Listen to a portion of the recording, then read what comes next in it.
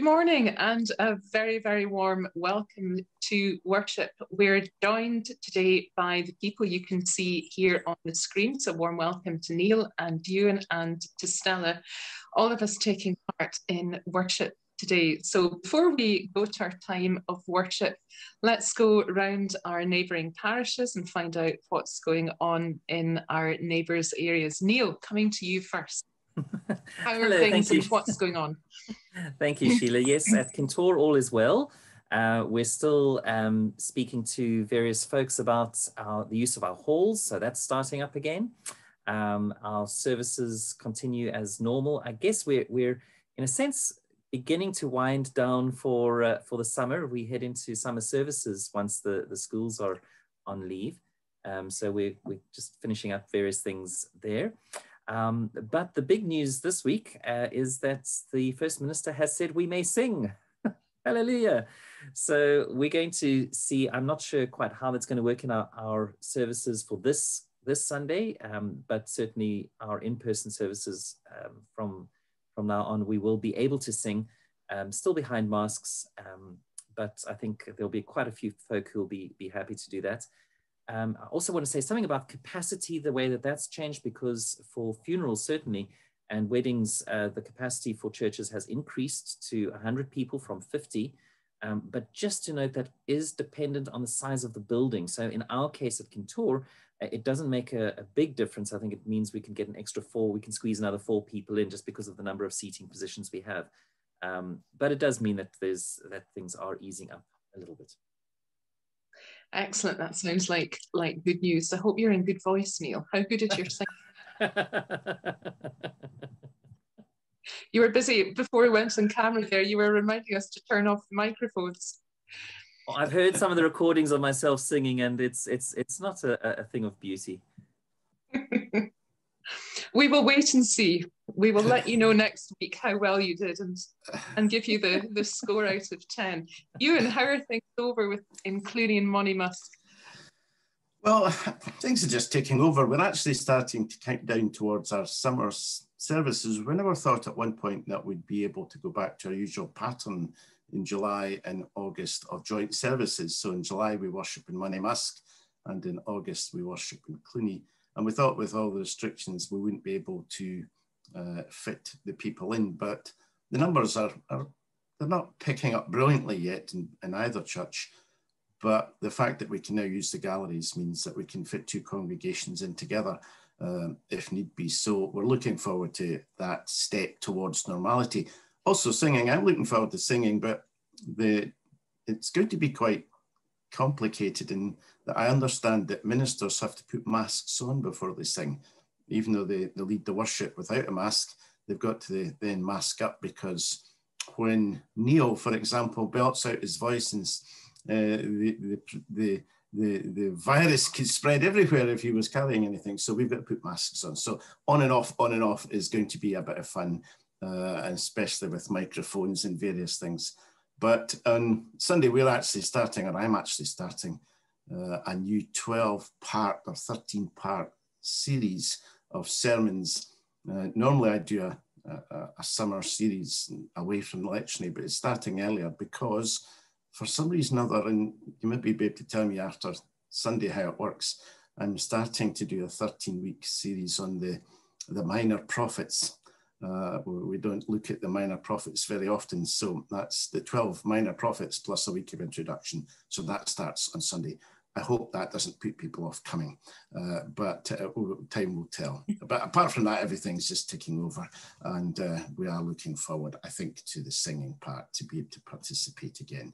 We have been doing more responses and more uh, praying the Lord's Prayer on Sundays, so people are used to speaking behind masks and I'm sure singing will be just the same.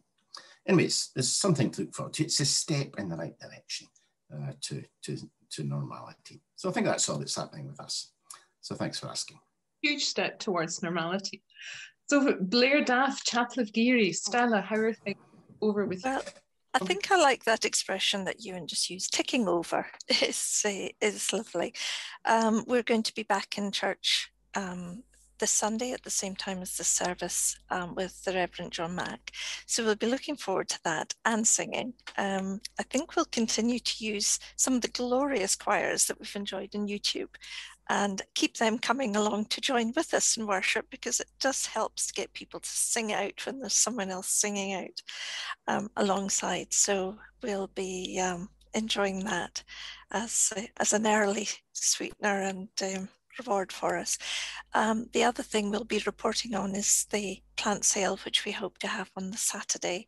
Um, just in my garden with some of the plants being donated. So we've had a roaring success so far. We've raised over 350 pounds on dahlias and tomatoes just about on their own. Um, so thank you to everyone who's contributed plants um, so far and we hope to have a, a wee boost to church funds to report on next week.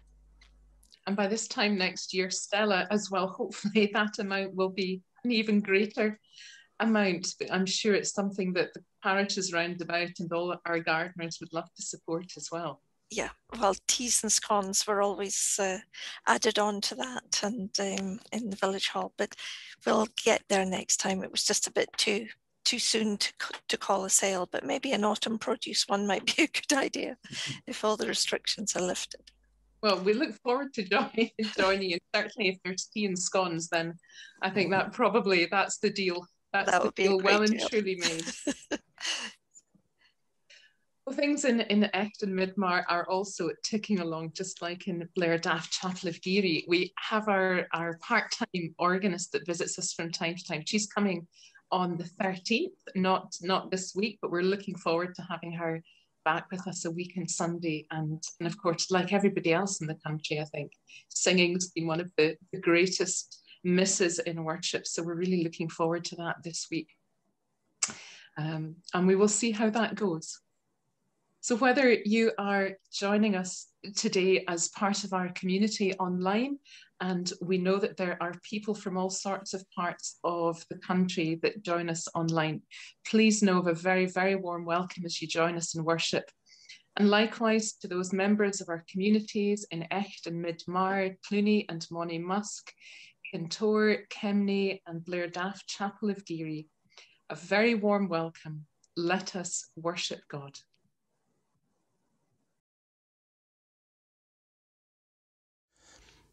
Thank you for joining with us for worship today. Wherever you are and wherever you're watching this, may God be with you. My call to worship today comes from the book of Psalms, Psalm number 29. The voice of the Lord is over the waters. The glory, the God of glory thunders. The Lord thunders over the mighty waters. The voice of the Lord is powerful. The voice of the Lord is majestic.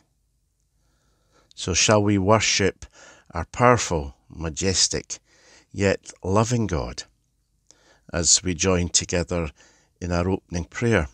And if you would like to, I have a response. So when I say, The Lord reigns, let the earth be glad, if you would like to, can you respond, And the distant shores rejoice?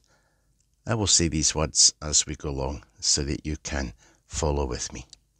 Shall we pray?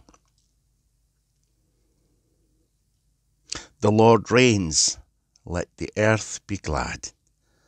And we say, and distant shores rejoice. You who spoke this world in motion, breathe life into each creature, painted landscape in colourful hues, you are our God the Lord reigns, let the earth be glad, and distant shores rejoice.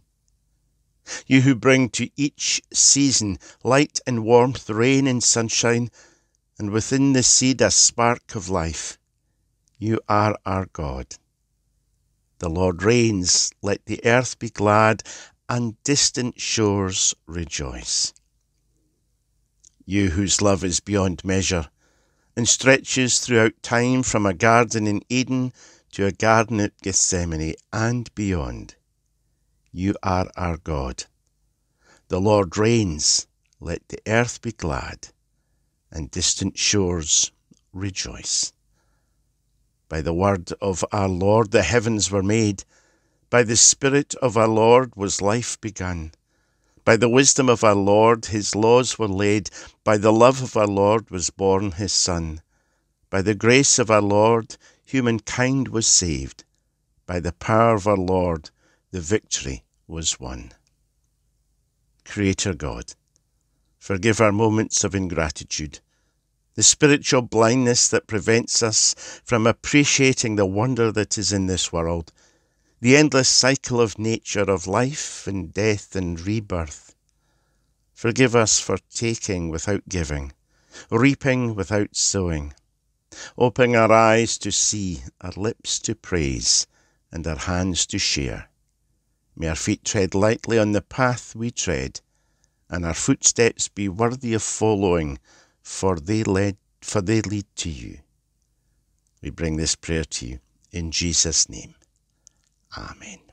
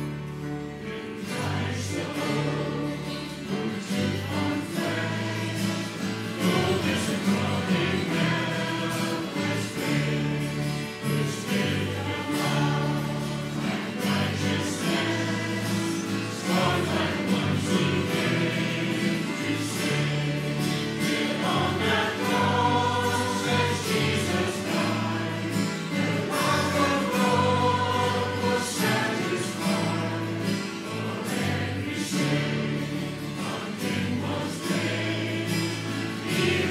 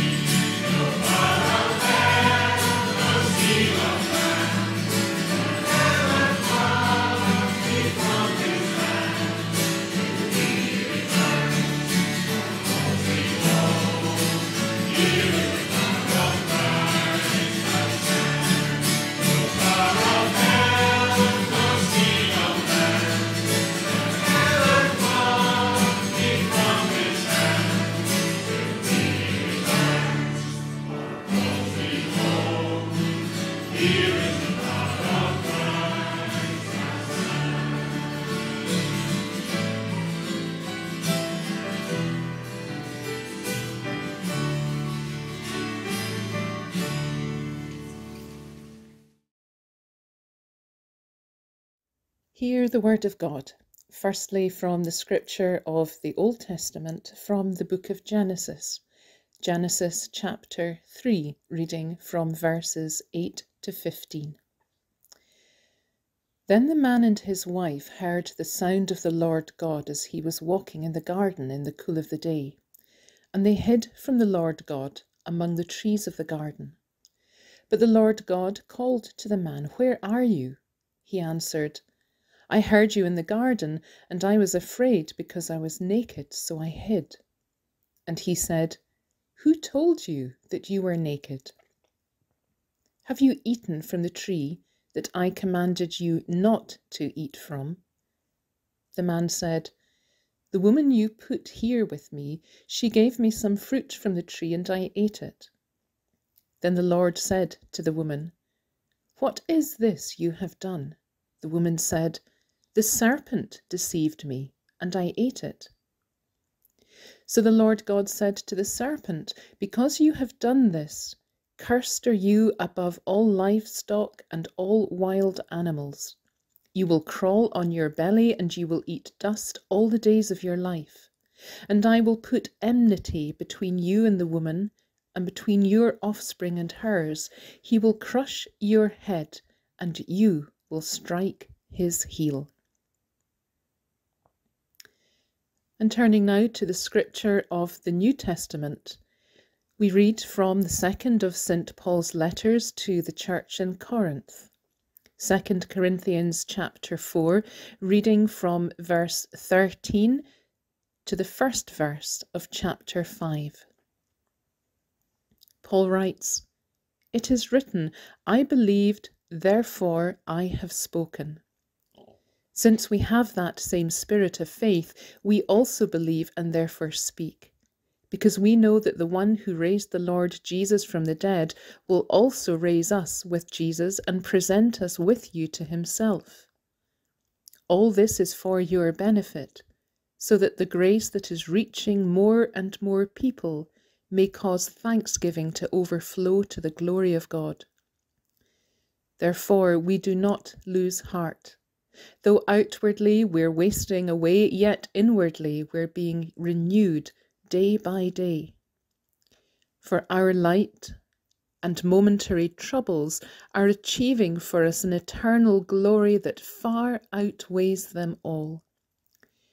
So we fix our eyes not on what is seen, but on what is unseen, since what is seen is temporary, but what is unseen is eternal. For we know that if the earthly tent we live in is destroyed, we have a building from God, an eternal house in heaven, not built by human hands. Amen. This is the word of the Lord. Thanks be to God.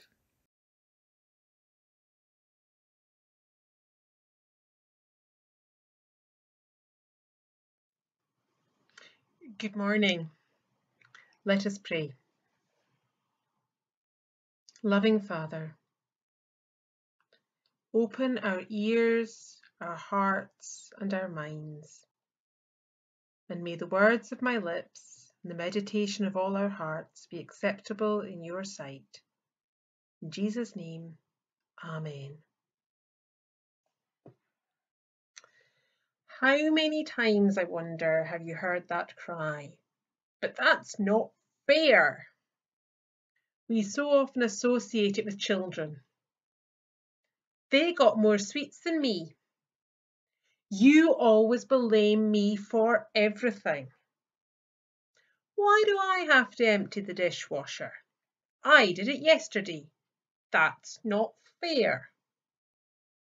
And as the caregivers, the response may well be, well, tough. Life's not fair. But is that true? If we believe in a God who is loving and just, then how can we turn round and say that life isn't fair? And what would it take to make life fair? Over the centuries, Many have tried to impose their brand of fairness on those around them. Karl Marx in the 19th century rejected the ideas of a capitalist society in favour of the equal sharing of wealth amongst the people. Now, in theory, this sounds wonderful. Everyone is treated equally. No one has more than anyone else. So theoretically, there would be no need for crime. A true utopian society. I can absolutely see the appeal. However, countries such as Russia and China demonstrate that communism doesn't open up freedoms in practice. Never being able to better yourself, not having any motivation to work that little bit harder, assigned a job with no hope of progress. It doesn't create, create an idyllic society. It has a tendency to create a hopeless one. Of course, there is also the issue within this that all may be equal, but some are definitely more equal than others. This experiment, if it could be called that, in utopian living, I would say has been a resounding failure. So why didn't it work? What was missing? Is it right that some have others, uh, some have everything and others have nothing? Is that the way the world is meant to function? Well, figures from 2019 show that in the USA, there are nearly 6 million millionaires or richer. There are also 5.3 million people who classify amongst the poorest in the world, one of the richest nations of the world. Here in the UK, we do live in a richer country as well, but we have an advantage in that we have a reasonable healthcare and social support system in place. Now, it's far from perfect. Many are kept out of abject poverty because of it, but we have no situation in which we can rest on our laurels. There are far too many people who slip through the gaps, and let's face it, we only have to wander the streets of Aberdeen to see people who through circumstances have ended up living on the streets begging for the basics. Where is the justice and fairness in that? Now, I always title my sermons, and this one I've entitled God is Just. So, after everything I've said, how can I support this claim? Let's turn to our reading from Genesis. In the Garden of Eden, God gave Adam and Eve everything they required. They had each other for company. He gave them food, and beautiful surroundings, and they had an open relationship with God. They met with God regularly. It was idyllic. It was perfect. So, why on earth, in that perfect setting, did God put a tree which they weren't allowed to touch? If they weren't meant to touch it, surely it would be better if it wasn't there in the first place. It's a bit like putting sweets in front of a two year old and saying, Now don't touch. As soon as your back is turned, the likelihood is that those sweets will get eaten. So, was that a fair thing for God to do? At some point, they were going to try it. That's human nature. So, was he setting them up for failure? Well, that doesn't sound very just. But in fairness, they were warned not to touch it. So when they did what they were not supposed to do, they knew that there would be consequences for their actions, and that was why they hid.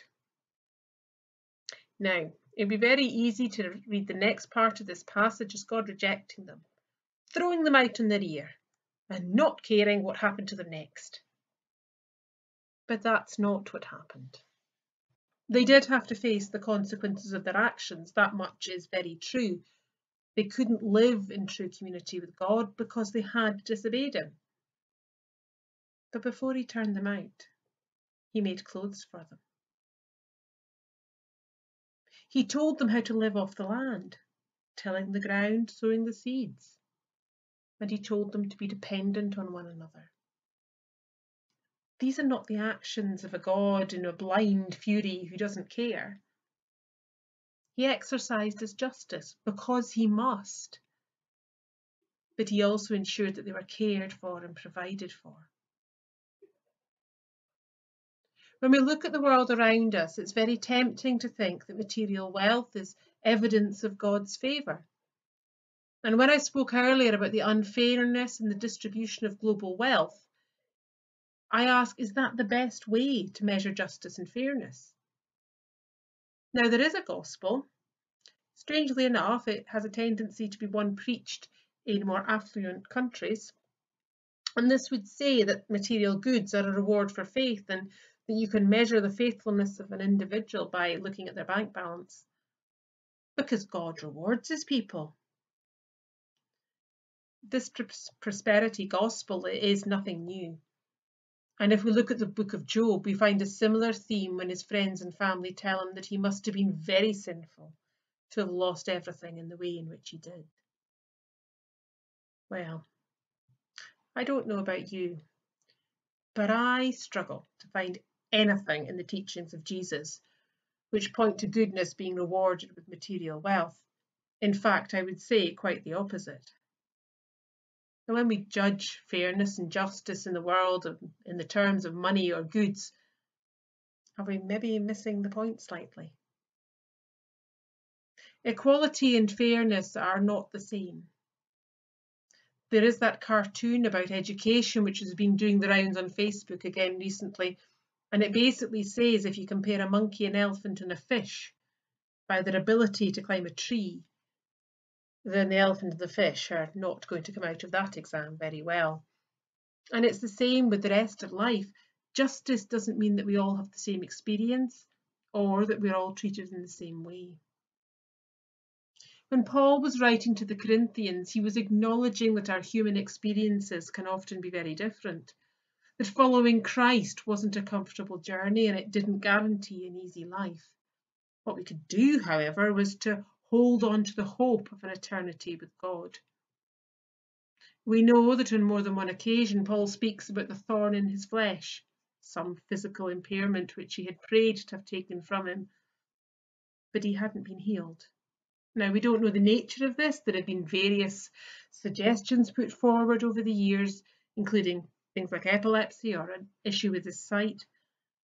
But whatever it was, it made life a bit more complicated for him. This wasn't because God couldn't heal him. We know that God can heal. He healed others. Paul concluded that God didn't heal him to remind him that he needed the power and strength of God to do what he was called to do, and that had he been healed, he may have been tempted to trust in his own strength and abilities instead. Now, I want to be careful at this point. There are people in the world who do not have enough food. There are people in the world who do not have clean water. There are people in the world who are dying of preventable illnesses. We have the knowledge and the resources in the world in order to make sure everybody is fed, everybody has clean water, and everybody should have access to good medical care. That's not what I'm talking about here. That is justice, keeping everybody in the world safe. What I'm talking about is that our overall life experience will be very different from that of other people. And when we are in conversation with others, particularly with people who question who are questioning their Christian faith, the subject of justice and fairness will come up a lot. It might be, why does that young mom have cancer? Why was that child allowed to die? Why are there natural disasters? Why didn't God stop the planes from going into the towers in 9 11? Where was God in this tragedy or that tragedy? Well, there are lots of glib answers from don't question God's will it's all a divine mystery. You just didn't have enough faith. It's a punishment from God. But none of these answers satisfy. Let's take the example of the Twin Towers in 2001, 20 years ago, would you believe it? There were many people who felt that God had saved them or their loved ones. But that leaves us with the question why would God save those people and not the others? What was special about them? I heard a Jewish rabbi speaking about this, and what he said I found so powerful. If you can look into the eyes of someone who's lost a loved one and say that you believe that God saved you, but chose not to save that other person, that God went round to pick and choose who would suffer and who wouldn't in that situation, then at least you're honest. But that's not the God I worship. That's not justice. That's more like the roll of a dice. But that leaves us with many questions, many of which start with why. Why do I suffer? Why is there pain and loss in the world? Why do bad things happen to good people? Why do good things happen to bad people? And I'm sure you can fill in the blanks with experiences from your own lives. And if you're hoping to get an answer this morning, I'm afraid you're going to be disappointed. That same rabbi from New York, he also said it isn't his place to answer the questions which people have about fairness and justice. His role, and I would say the role of all faith leaders, is to help the people find a way to hold the questions. Every glib answer I give you will fall short. I can't tell you why some lived and some died on that awful day. I can't tell you why a volcano erupted and killed so many people in the Democratic Republic of Congo just a couple of weeks ago. I have no answer as to why a young mum contracts cancer and dies why this loving couple cannot have children, and a drug addict is given birth to a baby who has to go through heroin withdrawal. It makes no sense. And no, it isn't fair. But we were never promised fair. In our reading this morning, Paul said, Though outwardly we are wasting away, yet inwardly we are being renewed day by day for our light and momentary troubles are achieving for us an eternal glory that far outweighs them all. So we fix our eyes not on what is seen, but what is unseen. Since what is seen is temporary, but what is unseen is eternal. So when we are filled with questions about injustice and unfairness in the world, May we remember that we don't have access to that big picture. We cannot know or understand the mind and heart of God. That doesn't mean we can't do our own small bit to help injustice in the world. We can do our bit to make sure that people have access to medical care, fresh water, food, these things.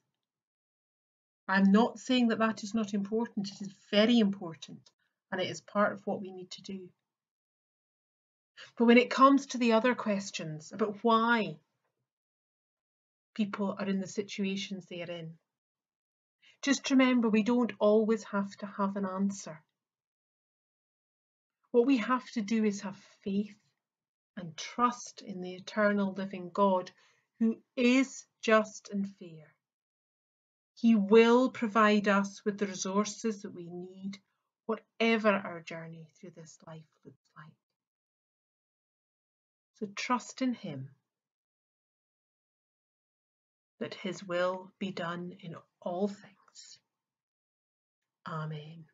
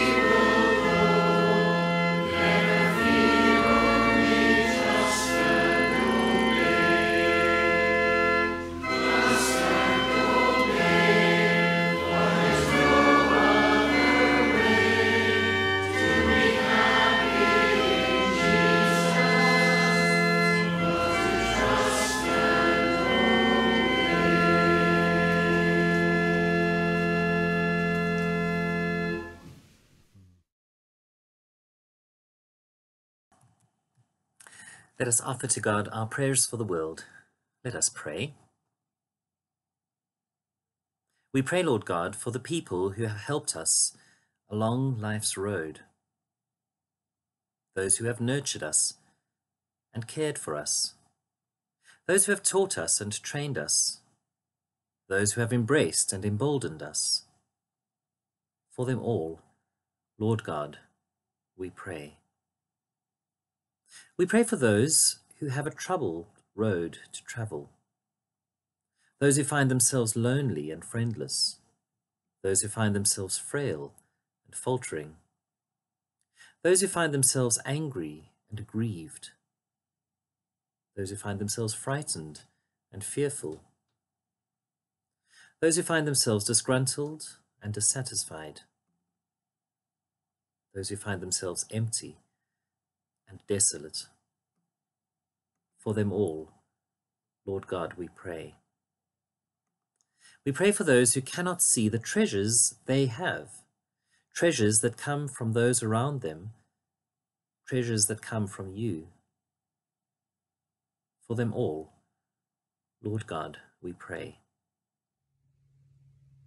Let us continue to pray using the words that Jesus gave to us.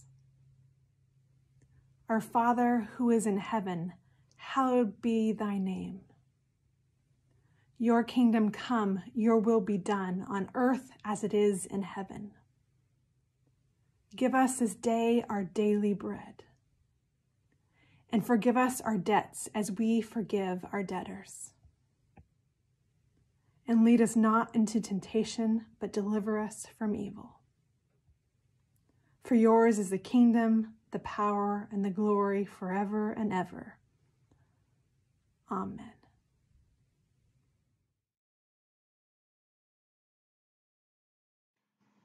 As we leave this sacred space this morning, may we know in our hearts that God is loving and just, and that He will give us all that we require to follow Him through a lifetime of faith. May God's blessing, Father, Son, and Holy Spirit be with us all. Amen.